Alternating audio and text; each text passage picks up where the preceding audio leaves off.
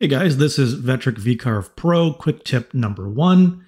What we're going to be talking about today is the array copy toolpath. This is not to be confused with what most of us are familiar with, and that is the array copy.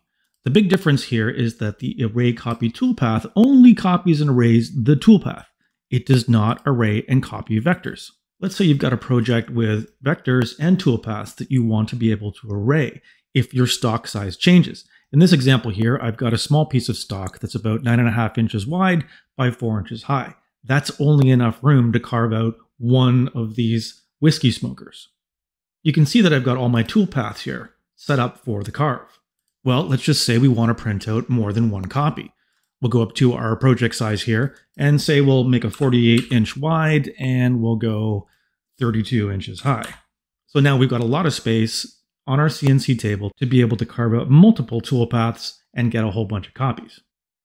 What we could do is take these vectors and use the array copy, and this is only dealing with vectors, and let's say we want to make seven rows and five columns. We're going to offset them with a gap of a quarter inch, and we'll copy those. That's great, but the problem is, is that we only have one set of toolpaths. So what you'd need to do basically is to copy all the information from all these toolpaths into every single vector.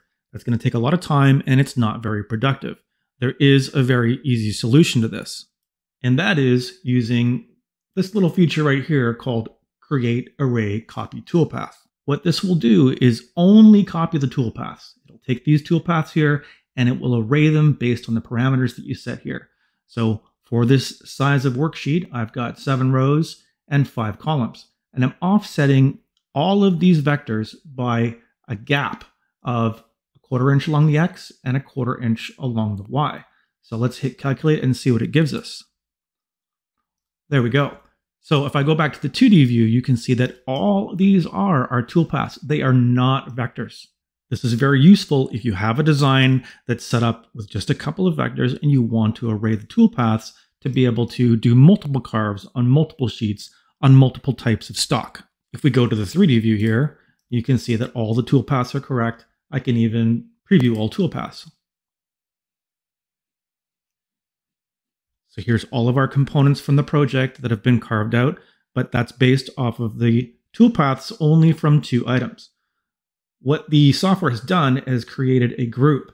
It's created an array toolpath one with all of the toolpaths underneath it. What I can do here is I can ungroup this and you'll see that basically we're right back to the only two initial toolpaths that we had created. That's useful because we may want to open this project up again, use a different size stock. So that's VCarve Pro tip number one, and that is the array copy toolpath. Remember, it only copies toolpaths. It does not copy and array vectors. By the way, if you're interested in getting a copy of this file for your own use, I'll have a link to my Etsy store in the description below. If you have any questions, please comment down below. Thanks, guys.